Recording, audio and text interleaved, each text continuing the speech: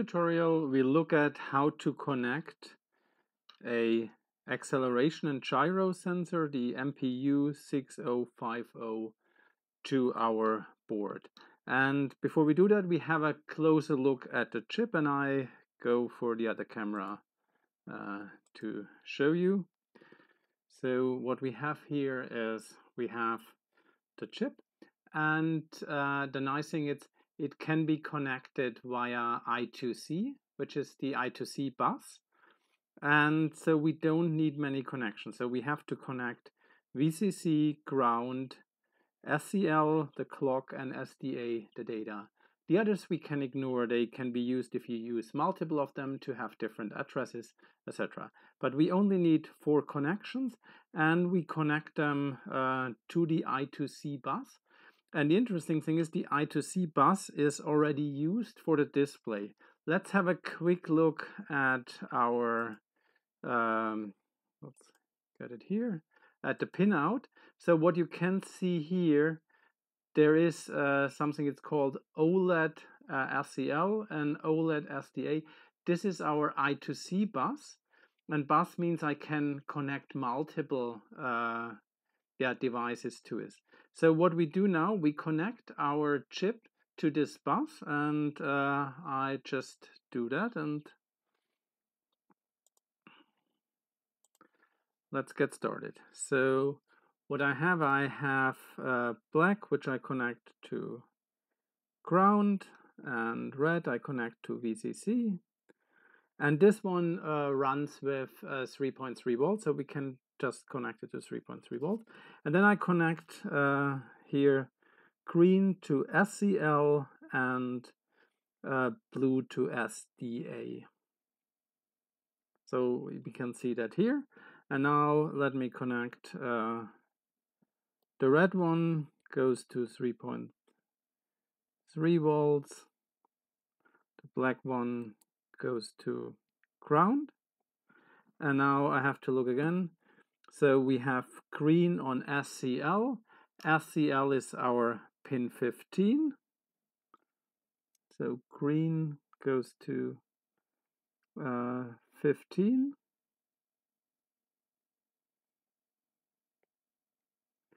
and blue is connected here to SDA and SDA is pin number 4. So let's have a quick look how we have connected uh, these. I switch to the other uh, camera.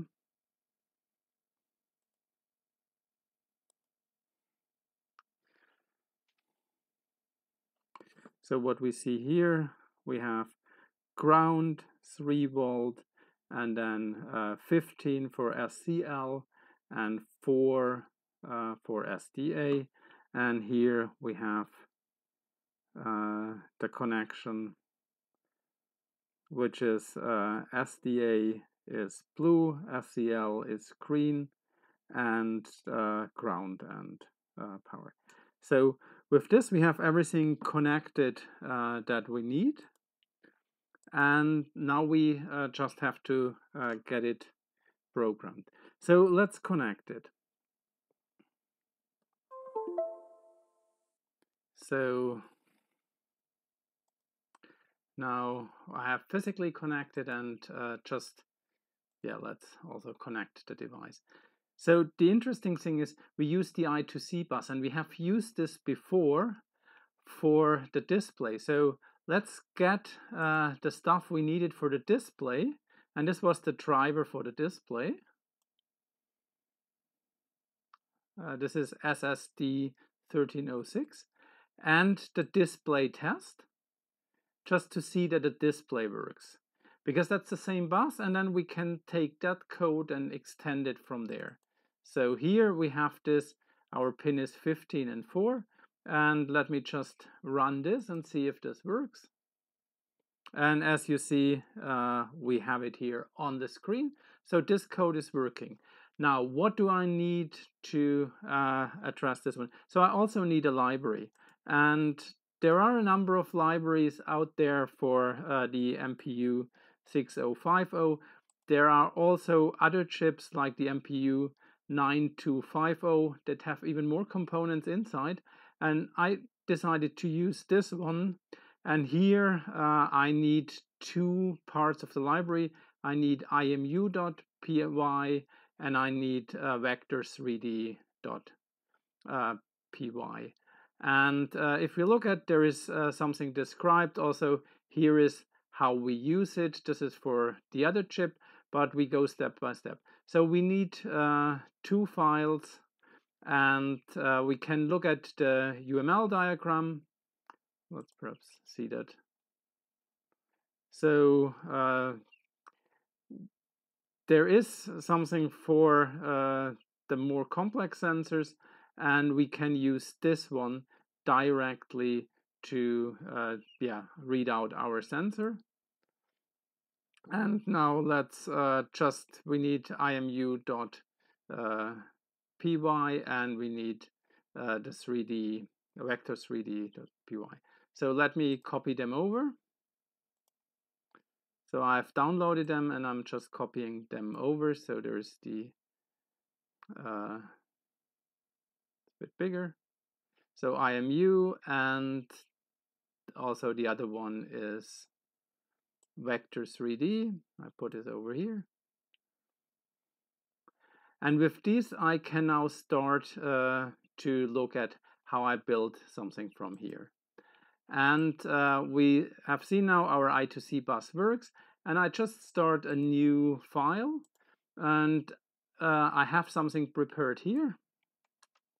And we go through it uh, step by step.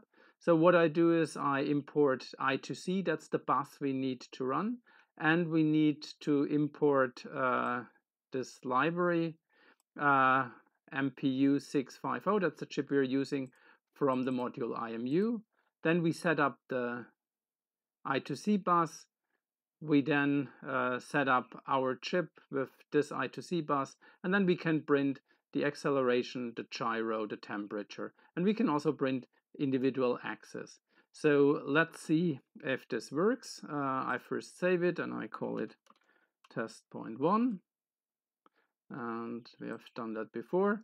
So now let's see what happens.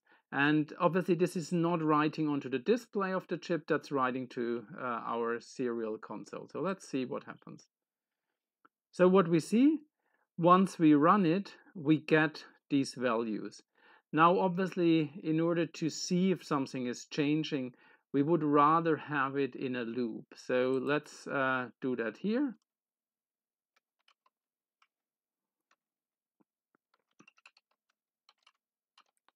While true, and what we uh, do is we just print out the acceleration and then we sleep for one second and then we print out more acceleration and I just uh, comment these out.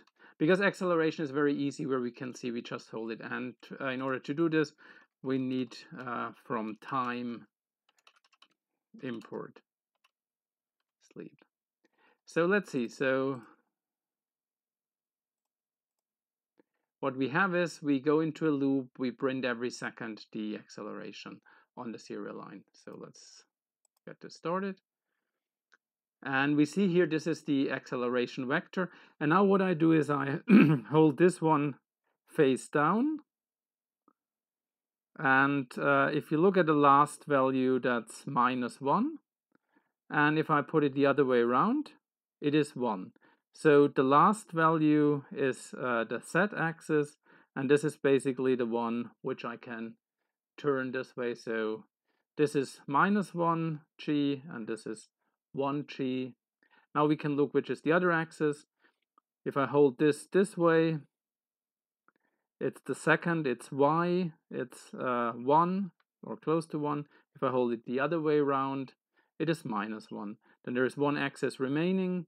This is the first one, this way around, it is 1. And if I hold it the other way around, it is uh, about minus 1. So uh, our sensor works and this is the basic way to use it. Now I have uh, prepared one more where we use it uh, together with the display and I show you uh, this file and what we do is uh, we print all the things out on the on the display. So let's start with what we have here. Okay, so we import I2C and pin because we need that uh, to connect uh, the I2C bus. Then we import the display, we import uh, the whole module, we import uh, the MPU 6050, and we import sleep that we can do a loop. We set up our I2C bus, uh, which is pin 15 for clock and pin 4 for data. Uh, we set up the display using this I2C bus and giving it a height and a uh, width. Then we set up our IMU, giving it the same I2C bus. There's on, they're on the same bus. If you would have further I2C sensors, we can also connect them there. Now what we do is we read X, Y, Z. This is the acceleration we just saw. And uh, we have xg, yg, zg, that's the gyro values. And here there is still an error in there. I fixed that one. And then we have the temperature. I print the values to serial line, only the acceleration ones. And now I clear the display and I write on the display. I use uh, eight, uh, nine pixels, eight pixels, and pixel nine. I start with the next line, so it's very cramped on the display, but I get all of it on there, and I update it every 300 milliseconds. So uh, let's save this as test two, and uh, let's run it and let's see if it works. Oh, we get an error. So it says uh, line 44. Oh, there's also still, there is one bracket too many. So let's try again. Okay, and now if we look at the uh, display, we can see it shows the display. And in order to do this well, I just switch to the other camera. So let's uh, switch to the other camera. So you can see now the values and now I can do this in real time. So this is one of the values.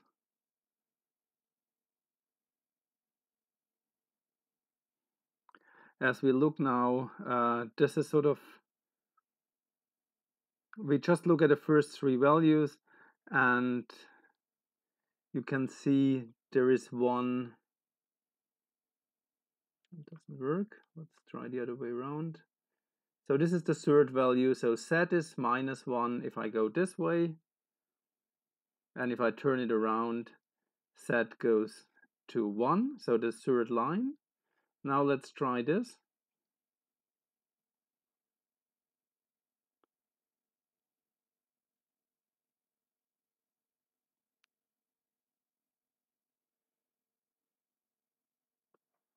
Let's try this one. So this is now the first line. X is uh, close to minus 1 if I turn it the other way around. And I look at it, X is, is 1. And it seems uh, my second one is not working and I already spotted the error. It's there. It's uh, I mistyped it here. So what I do now let's try this one. So I uh, had a copy and paste error and let's start it again. So now let's see. Uh, this is the second value, it's minus 1. If I put it the other way around, it is about 1. Uh, if I go this axis, uh, I can see the second value is close this is sort of the first value and this gives the first value the other direction.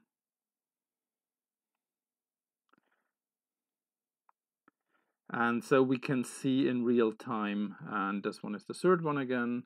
So one if it's this way around and minus one if it's uh, this way around. So with this we have now connected uh, our sensor and I have corrected some of the code here. So I had a error here, uh, copy paste, and I had an error here, copy paste. So I fixed this, uh, and now this code uh, is working. And with this, you know how to connect the MPU uh, 6050 using the I2C bus. And if you have other I2C sensors, it works very much the same. So uh, you have to connect them to the uh, same pins as the other I2C devices. You just have to make sure they have different addresses. Uh, and with this, we're done here.